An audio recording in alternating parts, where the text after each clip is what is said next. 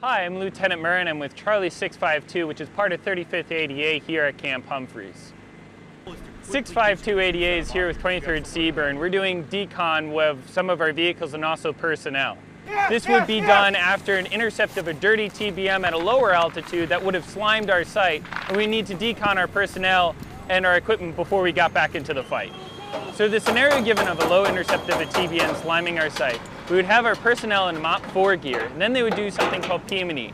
It's march ordering the equipment and emplacing the equipment. We wouldn't be emplacing, but we would be march ordering the equipment and driving it out to the site here, where the decon team with 23rd CBRN would move in to decon our personnel and our equipment that got slimed at site.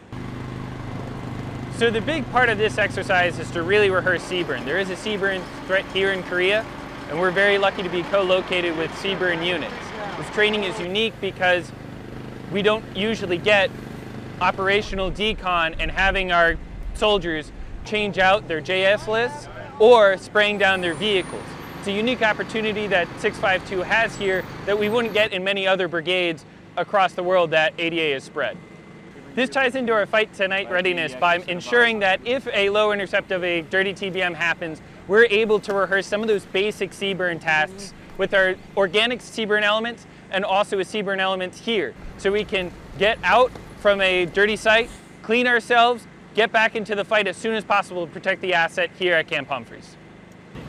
I would really like to thank 23rd CBRN doing combined events through these two branches that aren't really known of or as thought of when you think Army because you think field artillery, infantry, armor. But I think in this new environment that we're going into, we're seeing the impact of ADA. Pretty soon we might be seeing the impact of CBRN. Now coming back to our fundamentals is really going to help us to deter future threats as the Army moves forward.